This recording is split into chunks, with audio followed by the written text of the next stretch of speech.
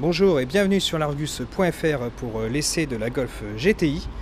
Alors celle-ci, elle date de 1976, c'est l'une des premières générations euh, de la Golf GTI. Et pour les 40 ans euh, de son anniversaire, Volkswagen a décidé de sortir une version un peu plus radicale, la Golf Club Sport.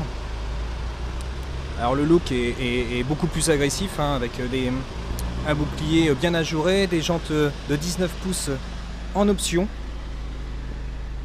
un énorme béquet à l'arrière, une double sortie d'échappement. Mais trêve de blabla, on va essayer ça tout de suite puisque Volkswagen a décidé de nous emmener euh, sur le circuit de Portimao euh, pour l'essayer en avant-première. Allez, c'est parti